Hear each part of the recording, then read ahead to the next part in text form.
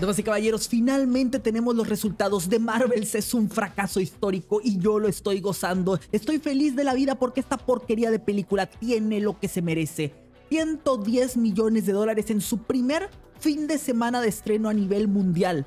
Esto es un fracaso tototototototototote. Es peor de lo que se esperaban. Ellos decían que iban a tener 140 millones de dólares y ya era un mal escenario a nivel mundial. Y era un escenario terrible. Ahora resulta que tendrán 110, que tendrán, tuvieron, hicieron 110 millones de dólares y esto es patético. De hecho aquí nosotros tenemos los números en The Numbers, esta página, este portal donde nosotros consultamos los datos de cada película y podemos ver que hizo 47 millones de dólares en la taquilla norteamericana y 63 millones de dólares a nivel mundial. Es decir, básicamente el cúmulo de todo esto son 110 millones de dólares durante su primer fin de semana de estreno. Se la llevó el carajo.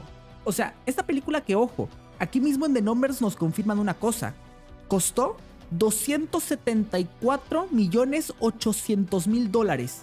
274 millones son conscientes de lo que esto significa y sin contar las regrabaciones, sin contar el marketing, sin contar un sinfín de cosas, esta película está condenada. Nació muerta. No hay otra forma de describirlo, chicos. Y a ver, esto es patético. Es tan patético. Hizo 47 millones de dólares en los Estados Unidos. A ver, para comparar, Five Nights at Freddy's, película famosísima que ahorita mucha gente está hablando de ella, resulta que hizo en su debut 80 millones de dólares en los Estados Unidos. 80. De Marvels hizo 47. Pero es que por si fuera poco, Five Nights at Freddy's costó 20 millones de dólares. De Marvels costó 275.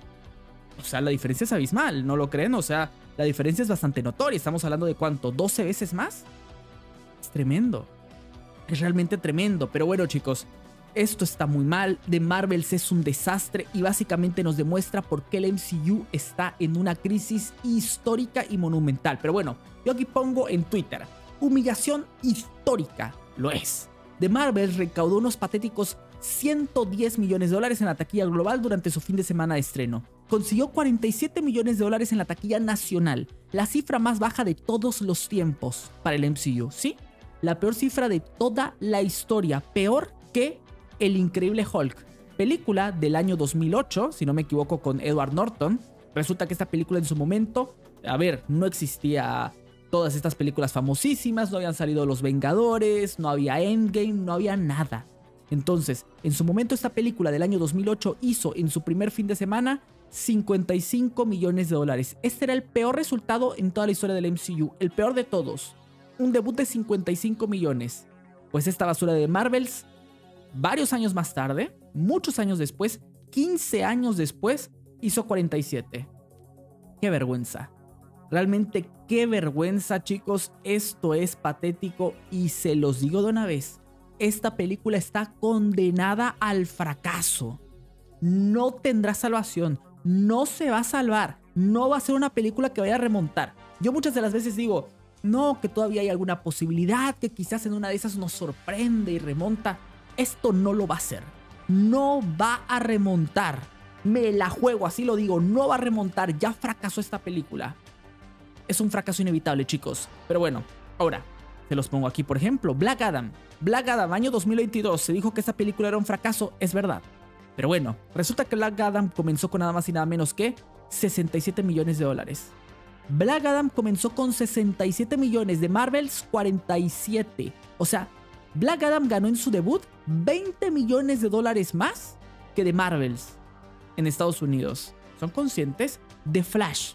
The Flash es aún peor. O sea, lo de The Flash fue vergonzoso. The Flash hace que Black Adam parezca un éxito, imagínense. Pues resulta que The Flash en su debut hizo nada más y nada menos que 55 millones de dólares. Uy. O sea, si lo comparamos con The Marvels, The Marvels hizo 47. ¿Dan cuenta? Básicamente el número es brutalmente bajo. Es que es bajísimo, chicos.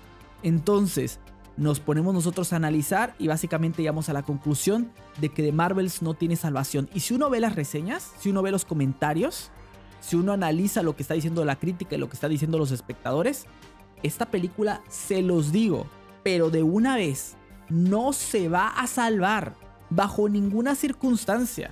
La gente la está destruyendo, no va a tener piernas. Pero bueno, a ver, si comparamos con Capitana Marvel, año 2019, Capitana Marvel en Estados Unidos debutó con 153 millones de dólares. Solo en Estados Unidos. De Marvels en todo el mundo, 110. Ya se dan cuenta, o sea, es impresionante. La, diferencia es bastante abismal. Y por eso mismo es que México, pues recurrieron a tratar de poner en promoción esta película. Que 2 por 1 que 30 minutos de juegos gratis en Versus o Level Son. Es decir, están desesperados. Como nadie está yendo a ver esta película, están poniendo promociones ya. En el primer fin de semana de estreno les recuerdo, ¿eh? Y ojo, el problema para The Marvels es que a partir del próximo fin de semana hay competencia.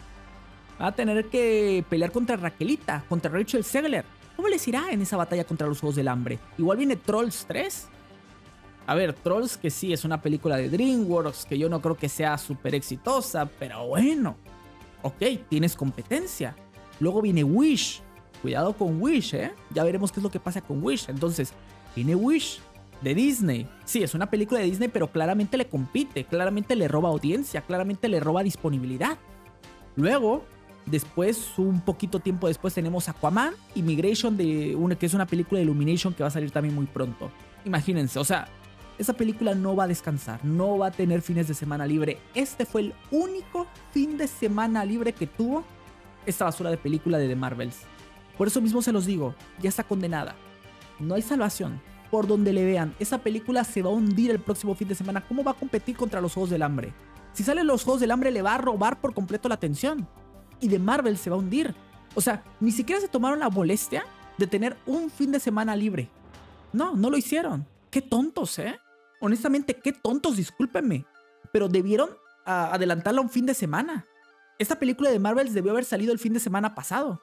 Yo me imagino, yo creo que hubiera sido mejor idea porque quizás este segundo fin de semana no hubiera caído tanto. Pienso, quizás me equivoco. Pero eh, al menos tenías dos fines de semana solo, ¿no? Pero ahora resulta que al partir del próximo llega la competencia. Y en dos fines de semana tendrás tres películas que le estarán comiendo la cartelera por completo. O sea, de Marvels, les repito una vez más, no tiene salvación. Y ahora, en Disney ya saben que esta película ha fracasado. Ya lo saben. Yo creo que en este momento la pobre Miss Marvel, que es Iman Belani, la actriz, yo creo que ella ya debe asumir que no habrá una segunda temporada de Miss Marvel. Porque la segunda temporada de Miss Marvel dependía del resultado de The Marvels. Cosa que fue tan malo que honestamente yo creo que en Disney van a decir, ¿para qué gastamos en una segunda temporada de, de Miss Marvel? No va a haber, no lo habrá. Quizás Miss Marvel, como es una chica simpática, va a salir en alguna que otra película como un personaje secundario. Probablemente eso es lo que le hagan a ella. Sin embargo, se los repito una vez más, esta película es desastrosa, es patética, la gente está saliendo muy insatisfecha de las salas de cine, están diciendo que es un bodrio, los cines siguen, estando completamente vacíos, ya hay promociones por doquier, es un caos, es un caos total, esto es lo nunca visto para Marvel, ellos nunca se imaginaron estar en esta situación. Tienen que descansar el MCU por completo. Tienen que repensar, replantearse muchas cosas porque se los digo. Ah, todo pinta muy, pero muy mal para The Marvels. Damas y caballeros, fracaso histórico, fracaso legendario, se están pudriendo por completo. Chicos, muchísimas gracias y nos vemos en la próxima.